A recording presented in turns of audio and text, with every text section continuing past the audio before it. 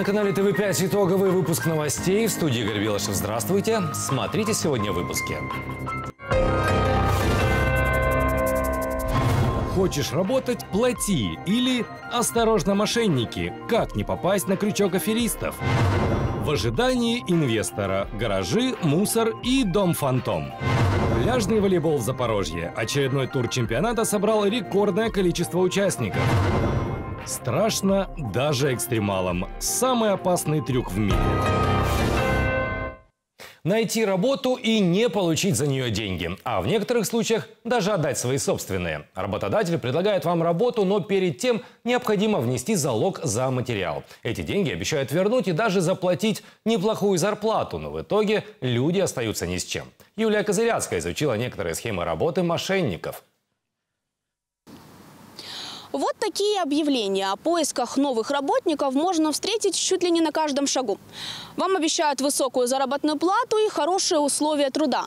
Но в итоге, кроме обещаний, вы не получаете ничего. Татьяна работает контролером в Запорожгазе. Недавно у женщины родился внук, и она решила подработать, чтобы помочь молодой семье. Я купила газету «Привоз» и начала э, искать предложения на подработочку. И нашла вот здесь вот написано вот три подработки. Расфасовка бюджетерии на дому, расфасовка гелевых ручек на дому, расфасовка цветных карандашей. И я решила, что я на полную ставку не смогу, допустим, работать, а подработать на полставочки смогу. Допустим, по ночам там с 11 до часу, там как у меня будет получаться. Женщине предложили расфасовывать цветные карандаши. За работу пообещали неплохие деньги – 1200 гривен в неделю и возможность работать на дому. Когда я начала заключать договор, я говорю, девочки, в неделю 1200, может быть, я по своим силам не смогу сделать. Давайте я э, на полставочки с вами заключу договор. Значит, когда на 1200 заключают договор, это 400 гривен. В, э, нужно внести, заключая договор. А на полставочки 200 гривен. И я должна была получать в неделю 600 гривен. С Татьяной заключили договор и пообещали привезти материал к ней домой в ближайшие дни. Это было 22 мая я заключила договор. И нам сказали, что вам 28 мая курьер привезет на дом работу. Если вы чего-то не поняли, значит курьер вам дообъяснит. Я ожидаю 28 мая. Работы нет. Рабочего материала не было ни на следующий день, ни через месяц. Тогда Татьяна решила пойти в фирму и расторгнуть договор. Соответственно, вернуть свои 200 гривен. Я взяла свой паспорт, этот договор взяла и поехала опять на рекордную 26А. Когда я поднялась на третий этаж, у них дверь была закрыта на, э, э, на замочке, у них вот такие кодовые замочки. Я набираю телефон, она поднимает этот телефон. Я говорю, девочки, я к вам приехала в офис, пожалуйста, двери откройте. По какому поводу? Я говорю, я хочу расторгнуть с вами договор. И начался смех. По телефону смех начался. Договор с Татьяной заключила фирма «Стройиндустрия Компани» на предоставление консультативных услуг. Правда, женщине его преподнесли как трудовой договор. В Едином государственном реестре юридических лиц и физических лиц предпринимателей указано «Стройиндустрия Компани» – агентство по трудоустройству и недвижимости. То есть о сборке канцелярских изделий речи не идет. Директор компании Юлия Звягина, она же исполнитель в договоре. Кто такая Юлия Звягина, Google знает хорошо. Ее компания «Стройиндустрия Компані» обманывает людей во многих городах України. Вінниця. Вінничан масово кидають на гроші спритні бізнесвумен.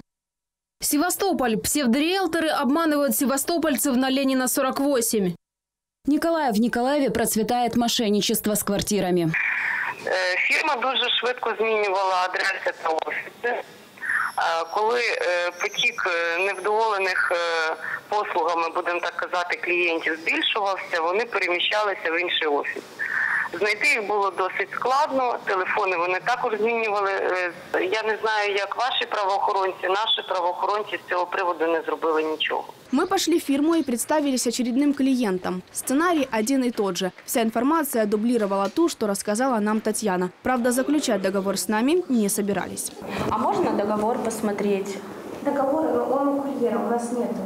А, а залог я оставляю когда? Сейчас? При оформлении заявочки, да, оставляете. То есть сейчас, да?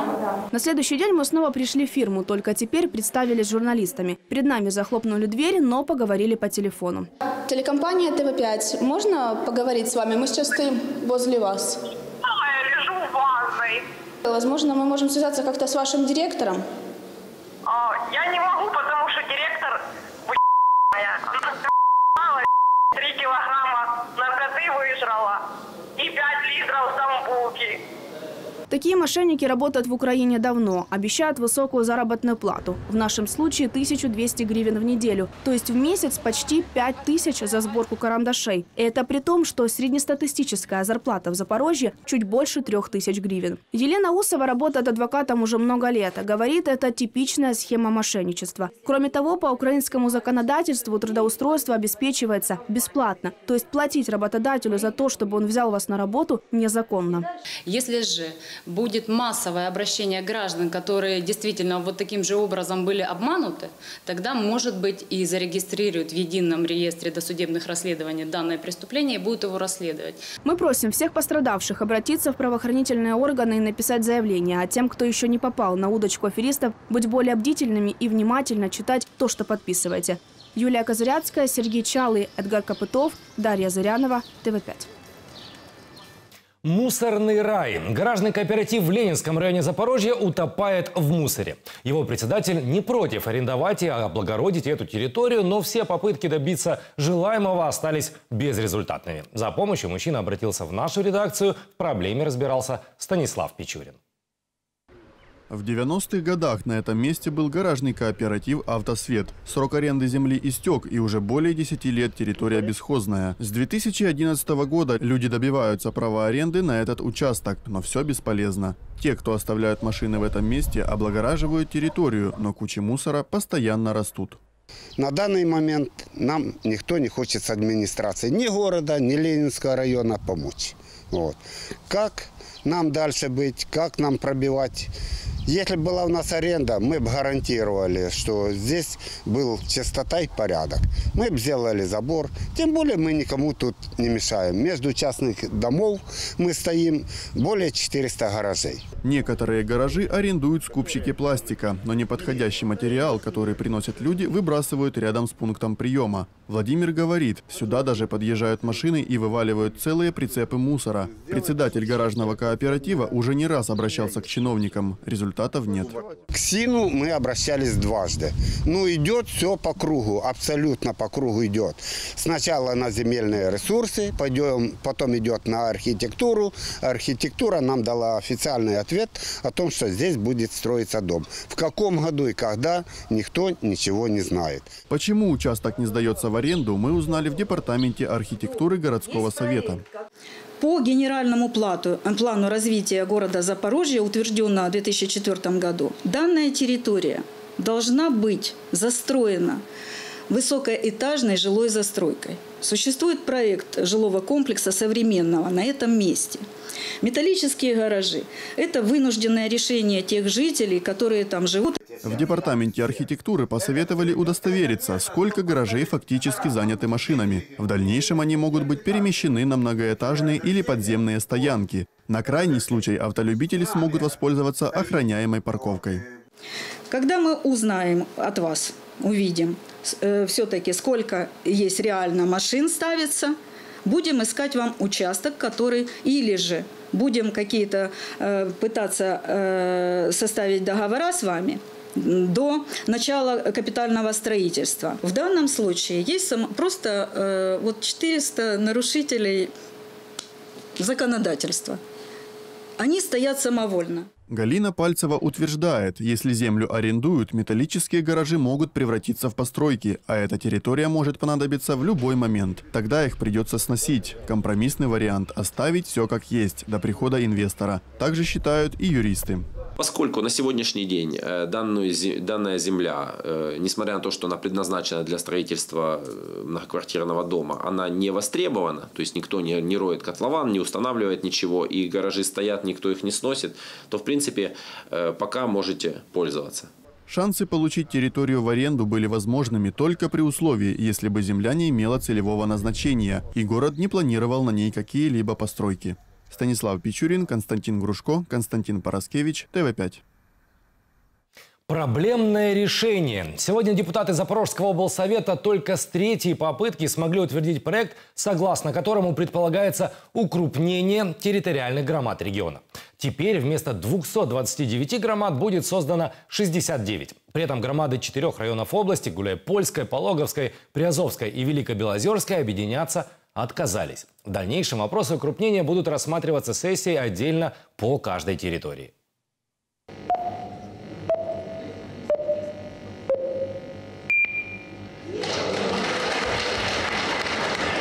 уже заходят документы, которые предоставлены для добровольного об'єднання.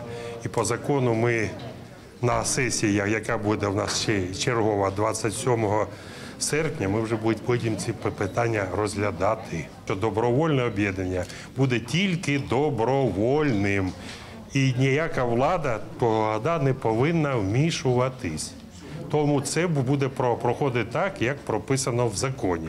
Я вірю в те, що рано чи пізно це буде. Другого шляху у нас немає.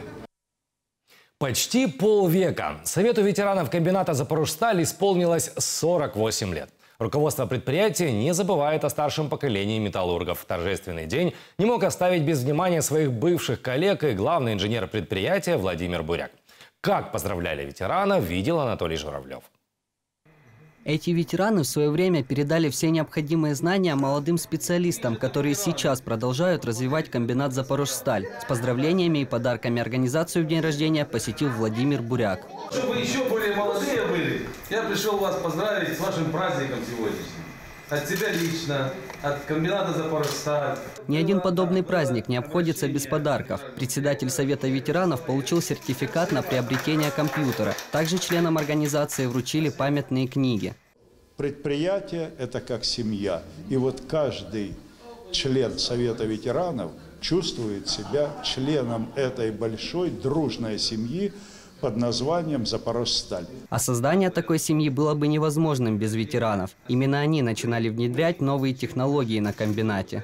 Ветеран – это человек, который прошел свой жизненный путь. У него есть свой опыт. Он может его передать молодому поколению. Это прежде всего по воспитанию патриотизма, который сегодня очень нужен нашей стране в это нелегкое время. Свои поздравления получил и известный для работников комбината ветеран, мартеновец, заслуженный металлург Украины Константин Анода. С днем рождения тебе, Спасибо тебе за те годы нашей совместной работы. Очень хорошая. Я очень благодарен тебе и за школу, и за науку. Ну, за все, за все. День рождения Константина Аноды совпало с днем основания ветеранской организации «Запорожстали». Правда, заслуженный металлург ровно на 10 лет ее старше. Аж не верится, что я тоже стал ветераном, хотя более 30 лет тому назад я пришел, и тогда в то время еще не, не подумал, что когда ты придешь и станешь ветераном. Поэтому очень приятно за те, те человеческие отношения, которые есть на комбинате. И вы сегодня видели, что Владимир Викторович Буряк приехал лично, меня поздравил. Поэтому я, я очень благодарен. По традиции встреча ветеранов комбината прошла в дружеской атмосфере. Анатолий Журавлев, Андрей Снисаренко, ТВ5. Все лучшее детям, показ мод в колонии и пиво для фанатов. Это и многое другое далее в нашем выпуске. Не переключайтесь. Уникальные раскопки на Хортице. Чем питались люди в четвертом тысячелетии до нашей эры? Вольнянск-Тувумба. Художественный мост сквозь время и континенты. В Запорожье открылась выставка «С любовью к Украине». Грезы с мотором или кто стал чемпионом пятого тура первенства по пляжному волейболу? Бэтмен существует. Доказано в Испании. Остров Хортица продолжает удивлять и раскрывать свои тайны. В ходе раскопок в балке «Генералка» запорожские археологи обнаружили уникальные ритуальные комплексы эпохи ранней бронзы. Аналогов такой постройки во всем мире единицы. Сооружение датируют концом 4-го, началом 3-го тысячелетия до нашей эры. Что скрывала в себе Хортица, знает Елена Назаренко. Археологические раскопки в балке «Генералка» проводят уже 15 лет. Все это время по этой тропинке археологи ходили к реке купаться. И даже не догадывались, что совсем рядом находится уникальный каменный комплекс. Найти его удалось благодаря обильным осадкам, которые обрушились этим летом на Запорожье. Земля в этом месте стала влажной, и специалисты смогли прощупать ее глубже. Находка позволила историкам полностью оценить масштабы ритуального комплекса. Его датируют концом 4-го, началом 3-го тысячелетия до нашей эры. В этом году нам повезло, мы раскрыли э, каменную конструкцию. В основе лежит э, такая круглая яма, обложенная камнями. Это характерно для, для, этого, для этого периода. Ну и сейчас мы ее исследуем, посмотрим, что будет дальше. Но, скорее всего, что это, это именно место, с которой наблюдали за звездами, наблюдали за какими-то изменениями.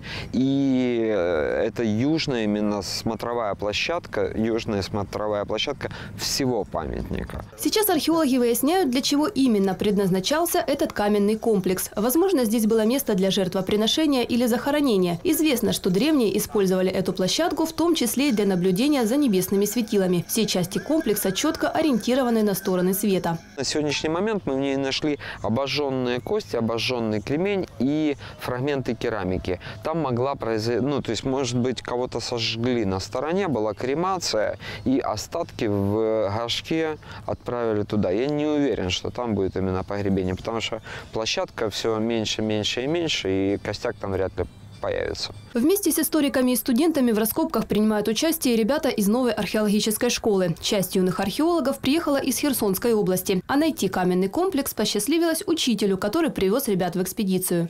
Аналог якої є там тільки в Португалії в Європі, і по суті, ми от зараз в процесі її дослідження і матеріалу дуже багато. Кераміка, кремінь, кості це дуже класно і дуже цікаво. Діти на це реагують абсолютно в захваті. Вони навіть не розуміли, що є якась там доба бронзи, що це були колись люди. А коли вони бачать, що ми ці каміння вскриваємо, і ми перші, хто бачимо їх за 4 тисячі років, ну вони в шоці. Благодаря многочисленным остаткам керамики и орудий труда историки сделали много интересных открытий о культуре ранней бронзы в нашем регионе. С помощью современных технологий даже через 4000 лет удалось выяснить, что готовилось в глиняных горшочках, найденных на острове Хортица. Мы получили огромную коллекцию, около 170 горшков. Э, национальный заповедник Хортица мы сдали. Из них 20 горшков мы полностью склеили. Это такие высокие э, сосуды, около 40 сантиметров. Сантиметров нам в Великобритании по части сосудов их перемалывали. И по липиды это такие элементы, которые сопутствуют пище, но не растворяются. И по липидам определили, в каких готовили свинину, в каких готовили молоко, в каких готовили там какие-то ну, другие продукты. За 15 лет работы археологам удалось изучить лишь 25% памятника. Удивительных открытий здесь хватит еще для многих поколений археологов. А запорожские историки уже этой осенью отправятся в Португалию. Будут изучать опыт иностранных коллег, которым удалось найти аналогичный памятник истории. Уверены, это поможет им лучше раскрыть и тайны острова Хортица. Елена Назаренко, Константин Грушко, ТВ5. Все лучшее детям. При этом особое внимание, считает председатель Запорожской облгосадминистрации Григорий Самардак, необходимо уделить семьям, родные которых погибли или принимают участие в боевых действиях на Донбассе. Сегодня губернатор вручил путевки в Международный детский центр «Артек» троим детям украинских военных. Этот оздоровительный центр создан на базе санаторного комплекса «Пуща Озерна» в предместье Киева. А по приезду Григорий Самардак пригласил ребят поделиться своими впечатлениями. Те 21 день, которые вы там проведете, в первую очередь вы э, оздоровитесь. Э, конечно же, э, Артек всегда славился своими программами. Программами воспитательными, программами соревновательными, программами развивающими и дружбу, отношения, и вас как личности. Я думаю, что вы приедете чуть-чуть другими. Полевые условия, палатки, дрова и узлы. Скаутский лагерь в Черниговской области посетили дети бойцов АТО. Несмотря на не самые комфортные условия, теперь уже юные скауты вернулись с массой положительных эмоций. Своим позитивом ребята поделились с нашей съемочной группой.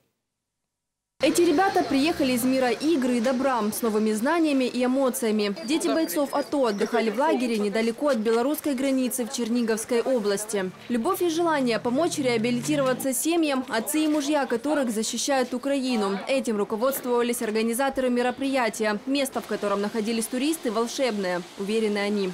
Это сосновый бор, в котором мы стояли на берегу очень чистой реки. Река Десна. Здесь ребята самостоятельно создавали себе комфорт в полевых условиях. Жили в палатках, готовили еду из рыбы и грибов, которые собирали сами. То есть там ребята научились всему.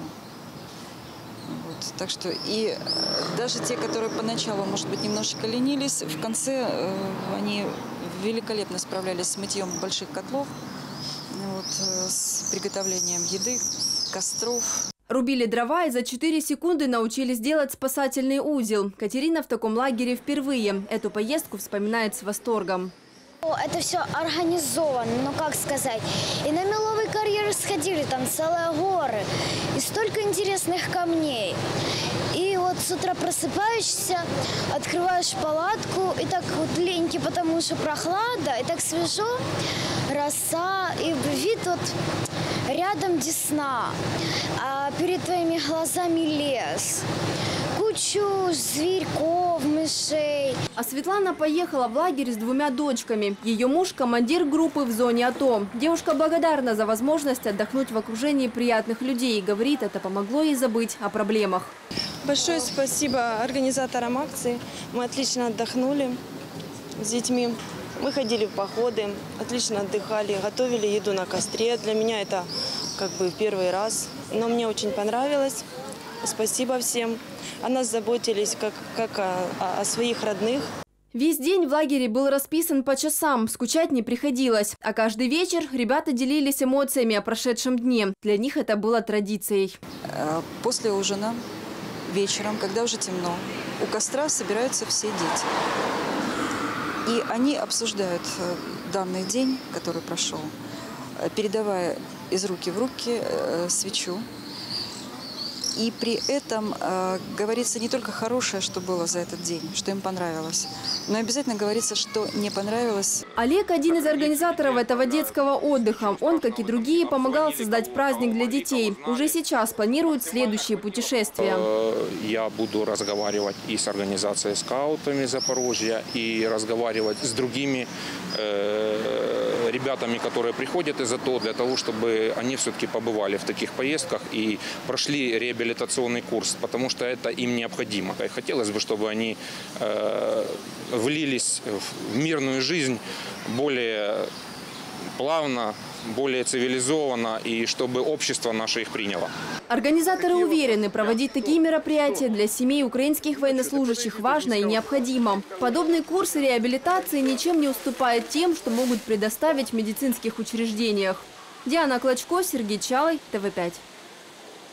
Из Австралии с любовью к Украине. В Запорожском областном художественном музее открылась выставка картин Виктора Грозного. Она посвящена 90-летию со дня рождения художника. Большая часть жизни нашего земляка прошла в Австралии и в многочисленных путешествиях. 60 картин экспозиции представляют красоту и разнообразие мира. Подробнее в сюжете наших журналистов. Эти работы появились здесь 15 лет назад. 320 картин Виктор Грозный завещал Запорожскому музею. Свои первые 17 лет жизни автор провел в хуторе Зеленый Вольнянского района. После переехал в австралийский город Тувумба. Практически всю жизнь посвятил путешествиям. Разнообразие мира и богатство его красок передавал на холсте. Они жизнерадостные, они полные вот такого любования миром, они информационные. Здесь визитные карточки тех стран, по которым он проехал. А он совершил буквально кругосветное путешествие, побывал в 18 странах. Никогда не продавал свои работы. Я знаю из его биографии, что две работы он подарил госпиталю в Австралии там, и больнице. Ну, а все остальные работы приехали к нам. Обещал своим родственникам подарить, но не успел. Виктор Грозный не был профессиональным художником. Наверное, поэтому работы автора часто называют наивным примитивизмом. Его творчеству свойственны свежесть приемов, непосредственность и простота выражений чувств. По этим солнечным картинам сложно догадаться, что искусству живописи Виктор Грозный учился самостоятельно. Вы увидите здесь э, все работы, которые говорят о том, что композицию он строил профессионально, колорит у него всегда гармоничный. Но то, что не всегда бывает воздушная перспектива и не всегда бывает, э, допустим, там, э, когда он моделирует цветом свои работы, так это не снижает то, что он, чем он обладал персонально и что он нам показал. Чем ближе знакомишься с этими пейзажами, тем больше экспозиция напоминает иллюстрированную энциклопедию. Экзотика мира – то, что особенно привлекает зрителя. Это наивное искусство, это примитивизм, можно сказать. И, в общем-то, что здесь привлекает? Его непосредственное впечатление от окружающей жизни.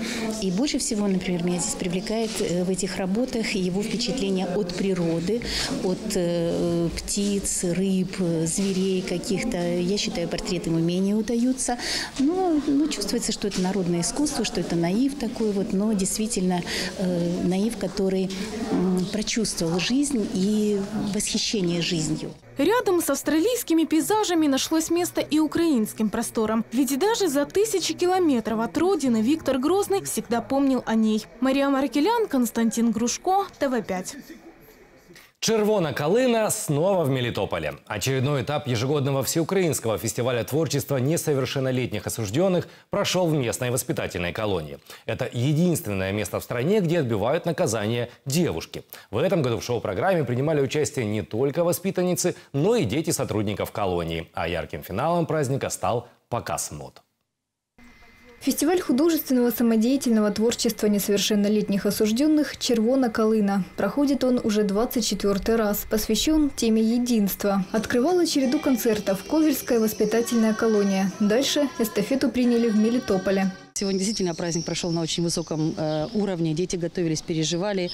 И э, мы рады, что э, его имели возможность посмотреть не только дети сами и родители, но и наши родственники, наши дети. Хочу сказать, что этот праздник, сегодняшний праздник, он немного необычен, потому что в концерте участвовали и наши дети, наши внуки, я имею в виду наших сотрудников. Во дворе колонии импровизированная сцена. Здесь девушки пели и танцевали, разыгрывали сценки и демонстрировали свои актерские таланты. Особенным было это выступление для 19-летней Светланы. У девушки как раз закончился срок отбытия наказания. Эта колония, она заменила мне абсолютно все. Когда я сюда пришла, в принципе, как бы я умела что-то, но не умела там чего-то именно сейчас, чего умею я. Поэтому как бы я благодарна абсолютно каждому, и здесь мне очень сильно нравится.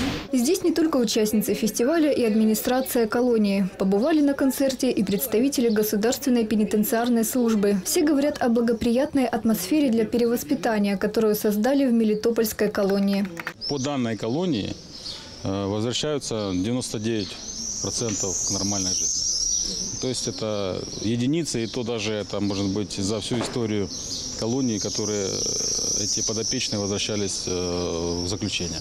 Это единицы. Поэтому я считаю, что даже за последні 10 років ніхто не возвращався. Ну є зміни, є я б не сказала великі зміни. Я вам просто вони просто тут їй допомогли свої кращі вади, свої кращі сторони поставити наперед. Тобто те, що в неї було хорошого, вона його ховала. Вона чомусь вважала, як і коло її друзів, вони вважали, що то є слабкість. Чому не знаю? Ну, мабуть, така молодь у нас маленька. Финалом концерта в Мелитопольской колонии стал показ мод. Все наряды девушки пошили собственноручно. Также девушки исполнили вокально-хореографическую композицию «Украина – це мы». Коллектив уверен, что для победы в фестивале «Червона Калина» у их учреждения есть все шансы. Евгения Маловик, Артем Довжик, Мелитополь, ТВ5. Джерард проставился. Экс-полузащитник Ливерпуля и сборной Англии уже завоевал сердца болельщиков своей новой команды. Стивен сделал приятный подарок фанатам американского клуба Лос-Анджелес Galaxy, за который он будет выступать в скором будущем. В честь Дня независимости США он купил несколько упаковок пива и вручил их каждой из официальных фанатских группировок клуба. В общей сложности поклонники Galaxy выпили 500 банок пива от Джерарда. Руслан Левицкий пока не баловал своих коллег и поклонников такими подарками, хотя мысль хорошая. Новости спорта далее.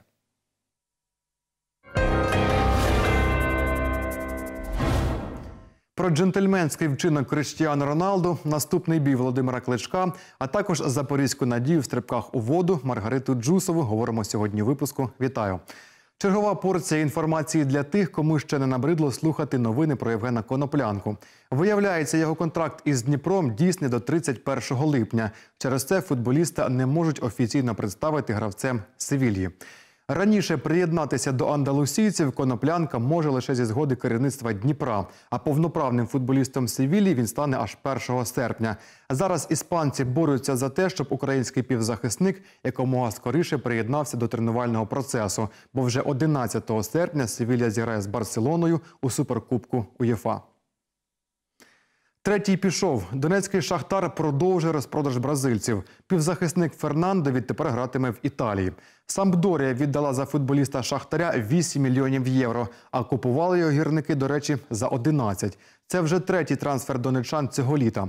За бразильців у сумі Шахтар отримав трохи більше 50 мільйонів євро. Але купувати нових футболістів учасник Ліги Чемпіонів не збирається, розповів наставник гірників Мірча Луческо. Ми продовжуємо розповідати про запорізьких спортсменів, які привезли медалі з європейських ігор. Із бронзою з Баку повернулася Маргарита Джусова. Дівчина здобула свою медаль у синхронних стрибках у воду. Спочатку Маргариті не сподобався вид спорту, на який її привела мама. Дівчині тоді було лише 6 років. Вона дуже боялася води, а тим паче стрибків у воду. Але згодом все стало на свої місця. Надалі спорт і тренування стали сенсом її життя. Таких спортсменов не было в семье. Просто, я не знаю, мама повела, потому что нравилась вода. Любила плавать.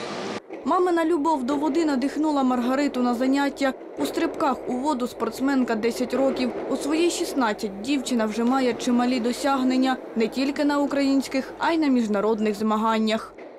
Чемпионат Европы не получилось взять, к сожалению, было четвертое место. Вот. Многократная победительница чемпионатов Украины и на чемпионате Европы выступала и на вышке, и на трамплине. В общем, во всех дисциплинах пробовала себя. На європейських іграх Маргарита успішно виступила в синхронних стрибках на трампліні 3 метри разом із Діаною Шелестюк. Діана із Миколаєва тренуватися разом дівчата почали з січня цього року на зборах. По можливості спортсменка приїжджала і в Запоріжжя. Цей спортивний дует приніс нашій збірній бронзову медаль європейських ігор. Познакомились мы на чемпионатах, мы очень много видимся вместе, на сборах всегда вместе. Э, решили тренера. Главный тренер решил, мы попробовали и вроде бы получилось. За місяць до початку європейських ігор спортсменка дотримувалась режиму тренувань, сну та харчування. На тиждень Маргарита мала по 11 тренувань. Проходять вони не тільки на воді. Спортсмени відточують свою майстерність і в залі. Це необхідно для підтримання фізичної форми. Така підготовка дозволила запоріжцям гідно виступити на європейських іграх, хоча хвилювання брало своє. Да, было страшно, было не как всегда, чувствовался напор зрителей, очень много людей было. Конечно, первый раз на таких соревнованиях это не похоже на обычный чемпионат Европы. Более масштабно. Зараз у Маргарити процес відновлення, але про тренування вона не забуває. Займаються спортсмени весь рік, тільки зараз навантаження трішки менші.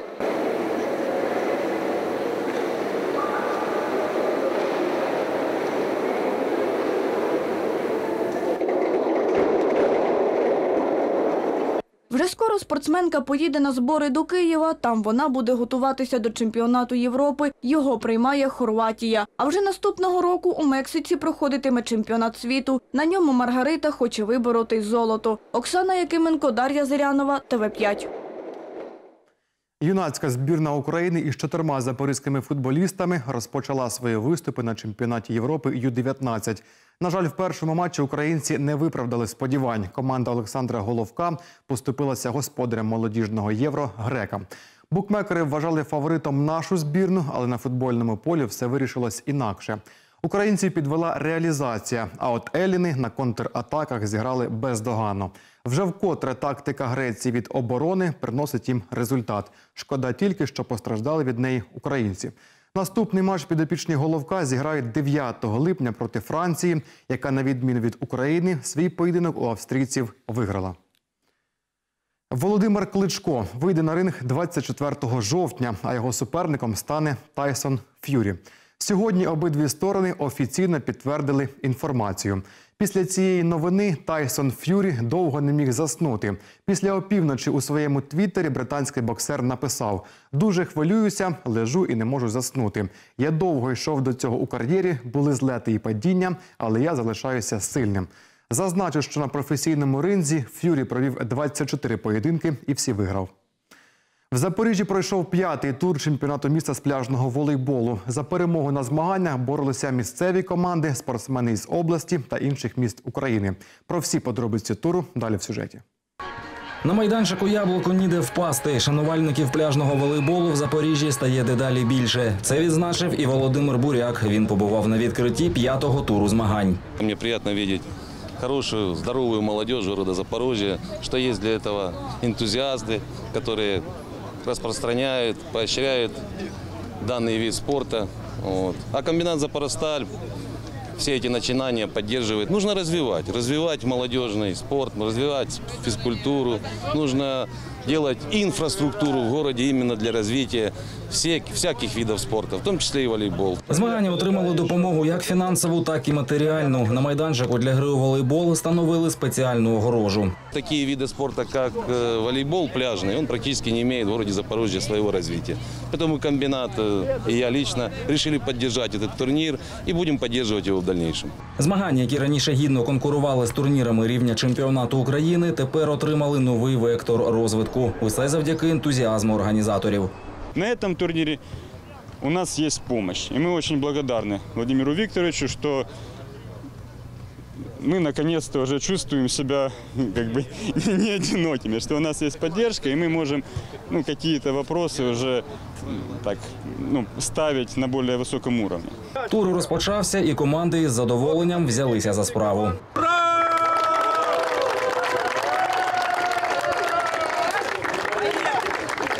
Чемпіонат Запоріжжя турнір відкритий. Сюди приїздять учасники навіть з інших областей. Віталій Гиря тренує дітей у Вільнянську. Для його підопічних запорізькі змагання можливість підтримувати форму і набувати досвіду.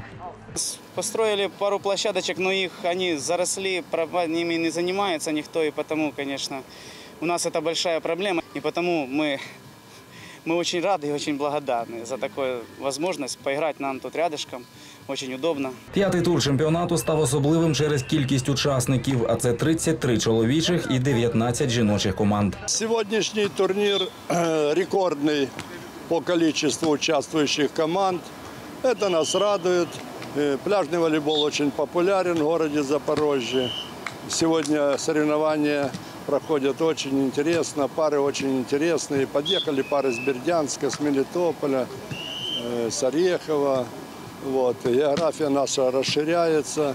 Святковий настрій додав видовищності матчам. Переможцем і призерами туру серед чоловічих команд стали мотор 77 Оріхова Сімферопольська пара Ралінда і Бердянські коршуни. У жінок перше місце посів дует Грезі. Друге і третє дісталися командам Дельта та Іриски. Далі в чемпіонаті настає пауза. Поновиться він у серпні. Дмитро Непоміщий, Едгар Копитов, Дмитро Сахно, ТВ 5 Українські легкоатлети зберегли за собою місце у суперлізі у Франції на Кубку Європи з багатоборств. Наші спортсмени посіли четверте командне місце.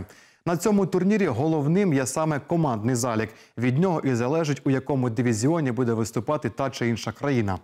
Українка Аліна Федорова зуміла виграти змагання багатоборок. Вона захопила лідерство від самого початку і тримала перше місце до останнього виду. Запорізький легкоатлет Олексій Касьянов також заробив для збірної чимало очок у змаганнях десятиборців. Вихованець спортивного клубу Металург обійшов усіх, окрім росіянина Іллі Шкуреньова. Олексій другий. Його дружина Ганна Моліченко Касьянова, яка також представляє Запоріжжя, перепинила свій виступ після третього виду через травму. Рубаха хлопець Криштіану Роналду. Зірковий футболіст знайшов чужий телефон і запросив власницю на вечерю. Зустрітися із португальцем пощастило симпатичній блондинці. У соцмережах Остін Валтенхюльм написала: погані новини. Два дні тому я загубила свій телефон. Гарні новини. Його знайшов Криштіану Роналду і запросив мене на вечерю. Судячи із фото дівчини, ще невідомо, кому тут пощастило більше Остін чи Криштіану. І на цьому у мене все. Приємного відпочинку. Бэтмен, Супермен или Железный человек? Нет, Александр Полли. Именно так зовут этого молодого человека. Весь мир его знает как отчаянного смельчака-экстремала. За ним числится немало трюков, но в этот раз он превзошел сам себя. Своей целью спортсмен выбрал небольшую узкую арку в испанской горе Монсеррат. Он прыгнул с вертолета, облачившись перед этим в костюм крыло. В полете, разогнавшись до скорости 250 км в час, он пролетел сквозь узкую щель в скале. Местные жители называют ее «пещера Бэтмена». Александр – первый человек в мире, кому удалось совершить нечто подобное. Этот трюк считается наиболее опасным даже среди самых безумных спортсменов-экстремалов.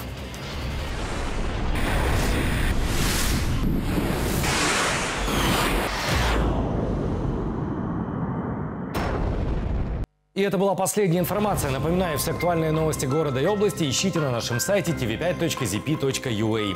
Если вы хотите поделиться с нами информацией или рассказать о проблеме, пишите главред at tv5.zp.ua. В студии работал Игорь Белышев. Всего доброго.